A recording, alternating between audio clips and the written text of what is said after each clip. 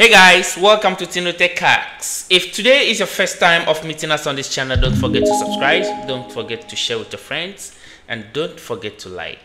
Today I'm going to introduce you to computer as a novice. If today is your first time, you want to start learning computing in 2024, this is your channel. I'm going to take you from scratch. I will teach you everything you need to know about computers. I will introduce you to Windows. I will introduce you to Microsoft Word. I will introduce you to Microsoft Excel, PowerPoint presentation, any other thing that you need to know. As we go further, I will also be teaching you how to build a website, how to write codes, how to program, anything in IT, in computing that you can learn that will give you a space in the job market. I am here to take you through. So let us begin today by talking about computers. Introduction to computing. If it's your first time of hearing the word computers, don't be alarmed. But I know in this 21st century, everybody knows about computers. So, just that some people have seen it, they've never touched it, some people have touched it, they've never used it, some people only use it to play games, others use it to watch movies and videos. But when you give them a job which is related to computing or IT, they have zero knowledge or basic nothing. So today, if you are one of those people or such people who face problems in using computers, I am going to introduce you.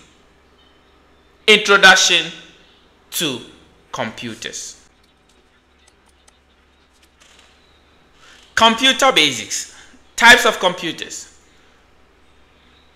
First of all, what is a computer? Somebody will ask you, what is a computer? A computer is a device that follows instructions that we give to it in order to execute a job or a task. There are many tasks that the computer can take. You can ask the computer to play a movie. You can ask the computer to show you some games, to play a song, or you can use it to create documents. You can use it to create an email. You can use it to browse the internet. Anything that you ask the computer to do, we call it a task. So it is a device that receives instructions, processes them, and then give us feedback. That is the job of a computer. Now, let us look at the types of computers.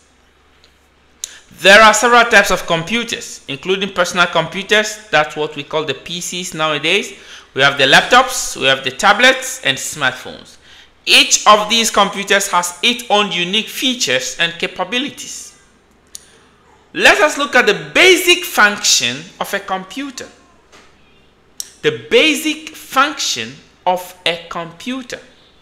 Computers perform several basic functions including data processing, data storage, and communication.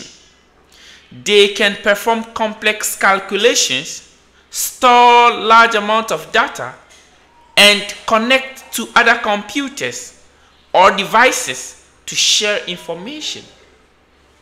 So computers process data, they store data, and they also help us to connect with other people around the world to share resources, information. That's it. Let us look at the basic parts of the computer. Basic parts of the computer. So we have input, and output devices. Input and output devices. Input devices are used to enter instructions into the computer, such as keyboards, mice, and touchscreens. So, your smartphone is an input device. If you have a smartphone, the screen of your smartphone is a touch screen, so it is an input device. The mouse that we use is also an input device. Then uh, the keyboard that we use to enter data into the computer is also an input device. When we look on the pictures, we can see a lot of input devices here. Yeah, we have the mouse, we have the touch pen or the stylus. People call it call it S pen. We also have different forms of keyboards here. We have the multimedia keyboards. We also have some keyboards that we use for playing music. The piano, it's also an input device. We have some touch screens here and many others. They are all called input devices. Output devices. What is an output device? Output devices display or present the results of computer processing such as monitors, printers, and speakers. Alright, so let's look at some output devices here. We can see a lot of screens here.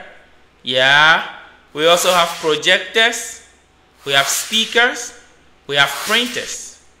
They are all forms of output devices.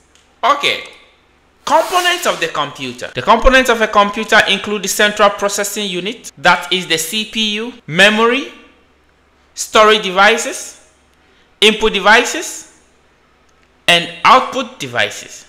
These components work together to perform various tasks that we give to the computer. Operating system. Operating systems are softwares that manage the computer's hardware and software resources. They provide a user interface and allow users to run applications and perform tasks on their computers. So every computer that doesn't have an operating system is not a computer. That is basically a trash can or a box or an empty packet of wires. Every computer needs an operating system. The operating system is what runs the computer. It is the basic software, the mother software that runs on the computer. So that when you ask the computer to execute a point or something for you, this particular operating system is going to do that job for you. Okay, so we have different types of operating systems. We're going to talk about all the different types of operating systems in our next lesson. Computer networks. Computer networks play a crucial role in allowing computers to communicate and share resources. They can be categorized into two main types. Local area networks, that's the LAN, and wide area networks, that's the WANs. LANs are typically used within a small geographical area such as an office building or a school campus whilst WAN covers large geographical area and can connect multiple LANs across different locations. To establish and maintain network connections, various network protocols and devices are used. Networking protocols define the rules and procedures for communication between devices in a network. Ethernet and Wi-Fi and modems to establish and maintain network connections, various networking protocols and devices are used. Networking protocols define the rules and procedures for communication between devices in a network. Some commonly used protocols include TCP stroke IP, Ethernet, and Wi-Fi. Networking devices such as routers, switches, and modems are responsible for directing and managing traffic. So when we look at this picture, you're gonna see that there are different laptops here. They are connected on a network. Because the particular network they are connected to is a Wi-Fi, you don't have an eye to see. But when we start with networking, you are going to see how the protocols are laid. Software applications refers to programs and applications that run on a computer. There are different types of software, such as operating system, productivity software, and entertainment. Applications are specific programs designed for a particular task or function.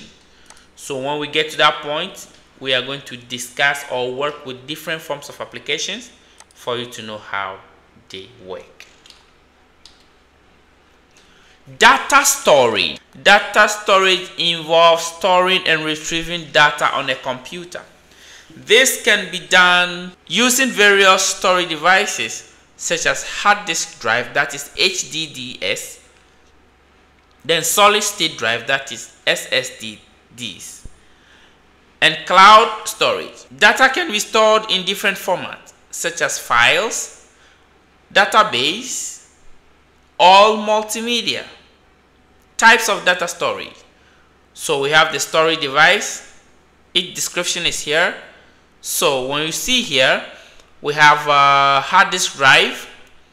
The hard, the hard disk drive, it uses magnetic storage to store and retrieve data, provide large storage capacity and is commonly used in desktop computers and servers. Solid state drive, that is the SSD, uses flash memory to store and retrieve data, provide faster data access and commonly used in laptops, tablets, and smartphones. The last one is the cloud storage. The cloud storage is the biggest thing that has replaced all the two or other forms of storage mediums. Stores data on remote servers accessible via the internet, provides scalable storage options, and allow for easy access and sharing of data. Computer security. What is computer security? Computer security refers to the protection of computer systems and data from unauthorized access, use, disclosure, disruption, modification, or distraction. It involves implementing security measures to safeguard against various threats. Security measures. So when we talk of security, basically we are talking of locking something, protecting it from being attacked or stolen or broken by other people who don't have access or who are not authorized to have access to it. Some of the security measures that we use in computers include firewalls, Firewalls protect against unauthorized access and filters network traffic. So anything that is coming into the computer, the firewall is there to filter it. If it is not a good thing, it prevents it from entering your computer. Then we also have antivirus software. They detect and remove malware and viruses. So any malware that comes onto your computer or any virus that comes onto your computer to distract or disrupt the files, this antivirus software, when it's installed in your computer, will make sure that this particular virus or malware detected and taken off your computer. The last one we will talk about is encryption. It converts data into a secret code to prevent unauthorized access. So when we scramble data that people cannot have access or even when they have access, they can never read meaning into the data, we call it encryption. So most encryptions are in the form of passwords and security codes. So if you have your phone and you put a password or a pattern on it, that is an encryption. Thank you for today for joining us. In our next meeting, I will take you into the application of softwares on the computer. And basically, we will start learning about Microsoft Word. Thank you for today. See you another time. Bye bye. Ciao.